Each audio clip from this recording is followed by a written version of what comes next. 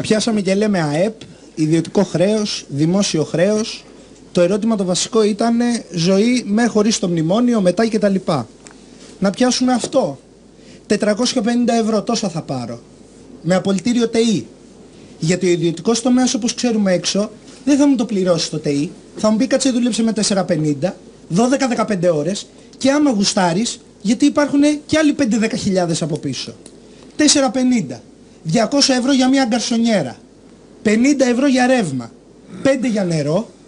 0,50 για μια φρατζόλα ψωμί. Στα δύο άτομα μιλάω, ε. εργάζεται ο ένας, γιατί η ανεργία στους νέους είναι πάνω από 53%. 10 ευρώ ένα τηλέφωνο, δύο ειστήρια για να πάει ο άνθρωπος στη δουλειά του, ένα 40 και ένα 42,80, μας πάνε στα 28 ακόμα, δύο καφεδάκια, μία φορά την εβδομάδα και για τους δύο δηλαδή έναν και έναν, 4 ευρώ, 64 το μήνα. Ένα ευρώ ανά άτομο για φαγητό, ένα ευρώ την ημέρα. Δεν υπάρχει. Μας πηγαίνει στα 60.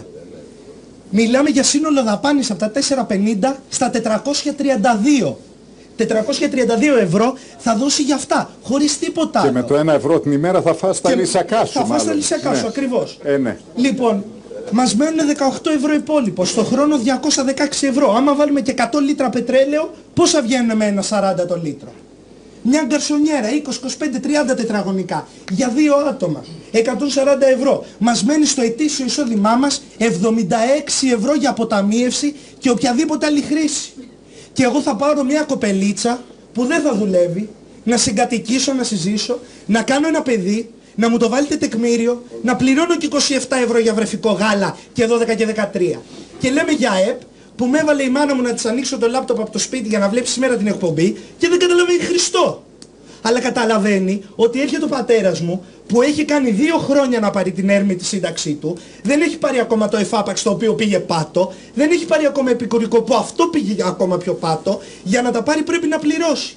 Και φέτος ψάχνουμε να βρούμε σόμπες και air condition και τζάκια για να θερμανθούμε.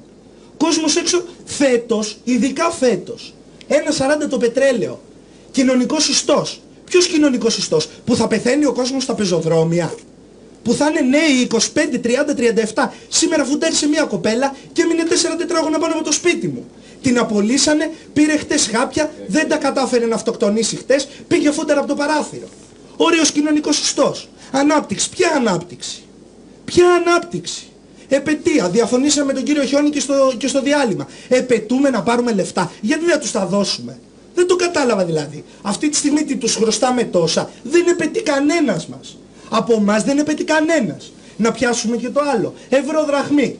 Άμα έχουμε δραχμή δεν θα έχουμε πετρέλαιο. Λες και τώρα που έχουμε ευρώ έχουν πολλά σπίτια να βάλουν πετρέλαιο. Ή να πάρουν ψωμί ή να πάρουν φάρμακα. Ε, με συγχωρείτε και, για- και για τον τόνο, είμαι 27 χρονών. Παιδεία. Ποια παιδεία; ΤΕΙ Χαλκίδας, τμήμα ΣΔΟ, σχολή ΣΔΟ, τμήμα λογιστικής, πέντε μόνιμοι καθηγητές με χίλια ζόρια, σκούζουν και αυτοί οι έρμοι για το μισθό που παίρνουν και για τα μαθήματα, 25 ορομίστη, τέσσερα χρόνια να πάρουν μισθό οι ορομίστη.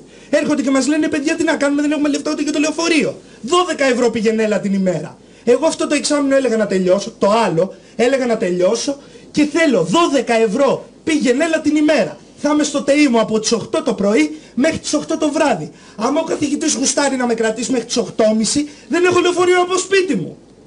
Πρέπει να πάρω άλλο λεωφορείο να φάω άλλες δύο ώρες καθυστέρηση. Δεν θα φάω κάτι.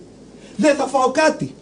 Πόσο έκανε μια τυρόπιτα δηλαδή με τη δραχμή ρε παιδιά, 100 δραχμές, 150. Το 86 γεννήθηκα. 16 χρονών ήμουνα το 2002. Πού πήγαν αυτά; Ευχαριστώ πολύ.